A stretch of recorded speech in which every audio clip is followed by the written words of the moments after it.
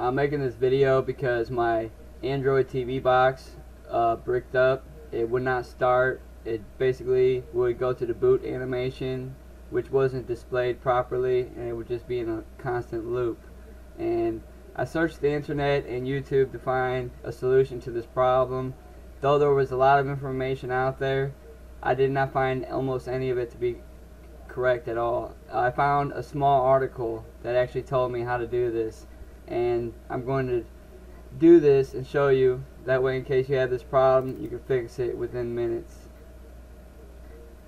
First thing you want to do is click on the first link that I'll supply and that's the Amlogic burning tool, USB burning tool. You're going to need this and you're, you're going to want to come to this link to get this tool because when I open the file you'll see why you want this one. Just click on that first one. Go ahead and let it download.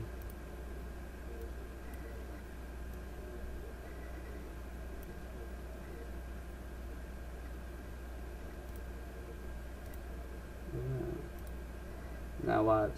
When I open this, you'll see why you want to go to that link to get that tool. Alright. This file right here. You need that file.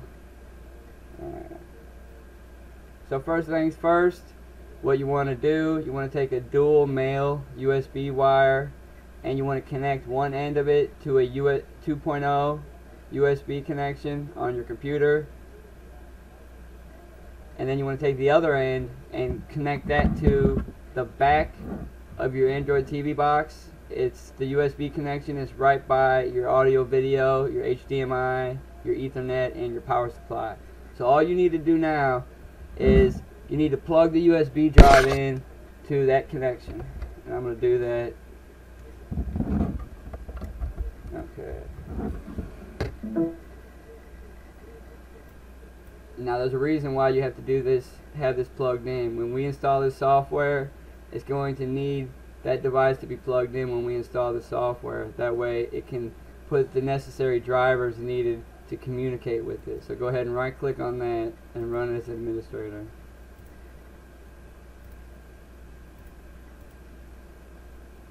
Check that box.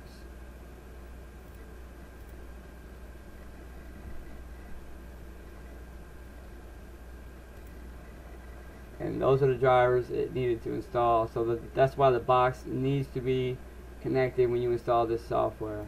Go ahead and finish finish. Now disconnect the USB wire from your device. Okay. Now what you want to do you're going to need to get the firmware for your device. So let's go ahead and click the link for the firmware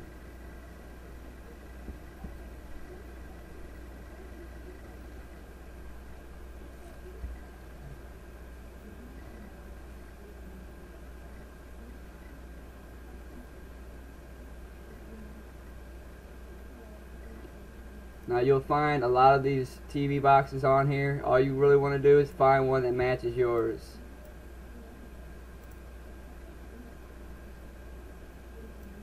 And first thing is uh, visual. Find one that looks like yours.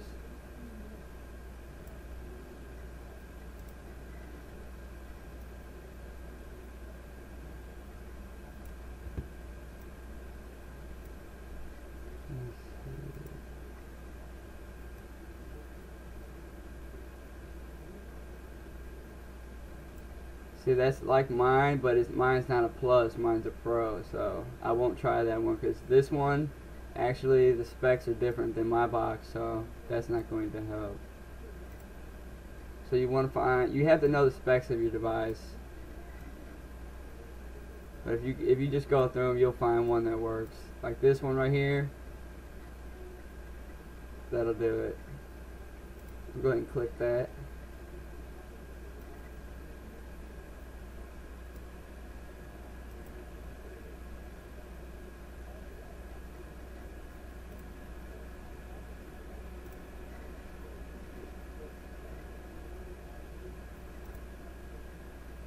Now I've already saved that file, so I don't need to wait on that.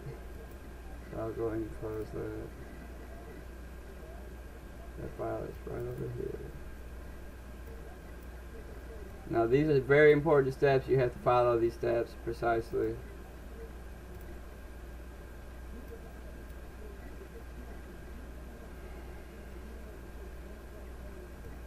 Now while, while we're waiting on this, go ahead and right click on this icon open file location. We want to make a folder.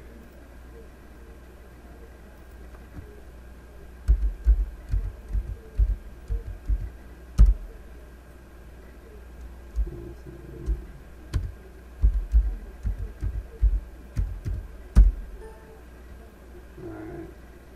Go ahead and open that folder. Drag this file into that folder. Now our, ri- our firmware, go ahead and grab that and drag that into the same folder.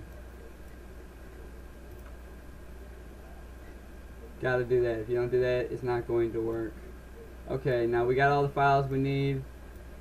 Our device is not connected at the moment. Let's go ahead and start the software. So the, the device is not connected. Don't have the device connected when you start the software. Don't do that. Have it disconnected. Go ahead and click right there, English. Okay, now we want to load our ROM, our firmware. See, it doesn't know where it's at, but we know where it's at.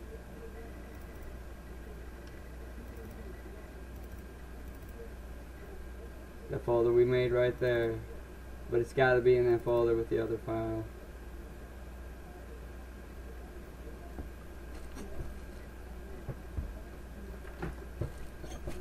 Alright, check the file. Now here's the key that you want to pay attention to. We, we loaded our ROM, our firmware is loaded. Go ahead and hit start. Now our device is still not connected. What we will do, hold in the reset button that is located inside the audio video port.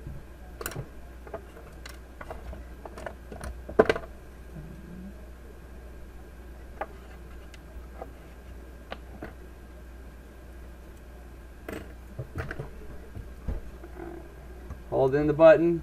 There's a little button in there. Find it with a pen, a toothpick.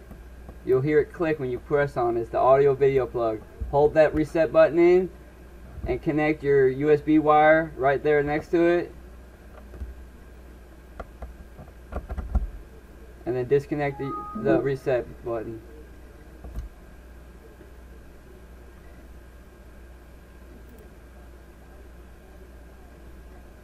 Let's try that again.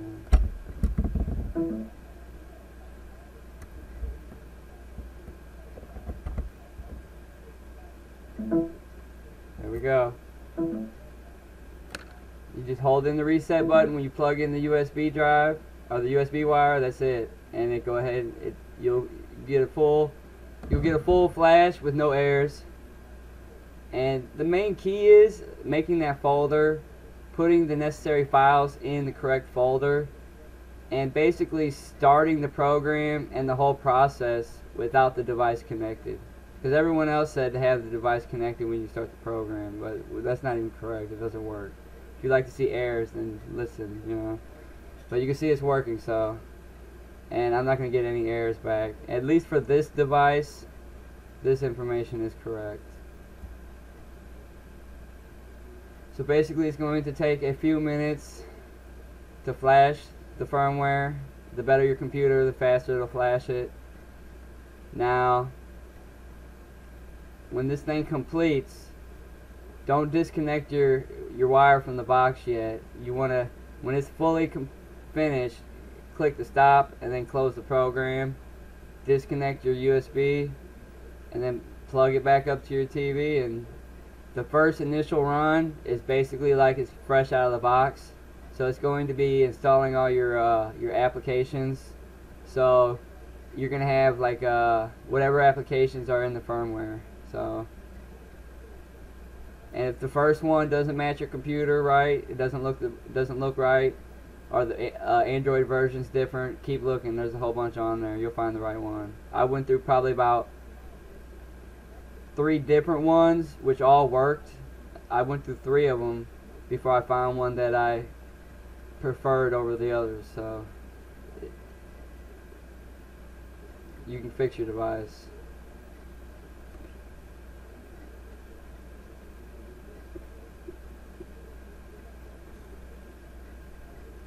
I'll take a picture with the camera right now supply a picture.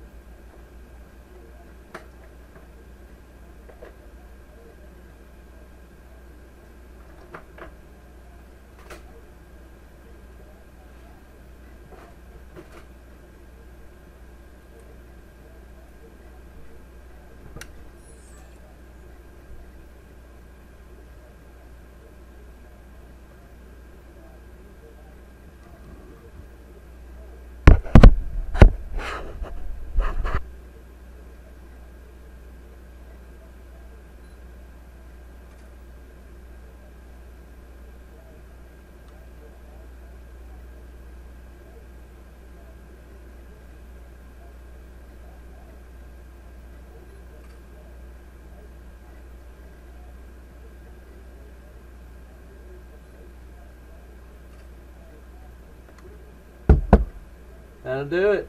Go ahead and click stop. Close the program. Disconnect the wire. You're, you're set. Hook it back up to the TV. Give it a couple minutes for the initial run because it's going to have to install all the applications. And you're set.